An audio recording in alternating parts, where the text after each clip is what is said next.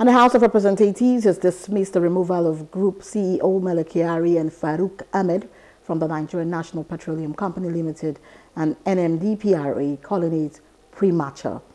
The lawmakers, led by Honorable Famous Osawaru, a group of concerned members of the 10th Assembly, voted to mandate the Joint Committee on the Midstream and Downstream Petroleum to investigate oil and gas sector issues before a final decision. We wish to state that it is in the parliamentary culture to afford parties in investigation the right for fair hearing. Therefore, the call for removal of anyone while investigation is pending is premature.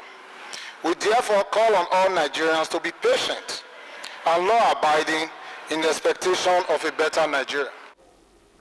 The group expressed concern over the ongoing protests in Nigeria and their impact on the general well-being of the nation, urging for calm and an end to the protests. Having observed the nationwide protest, we commend the youths and Nigerians in general for the manner they have conducted themselves. We appeal for calm while imploring all Nigerians to bring the protest to an end.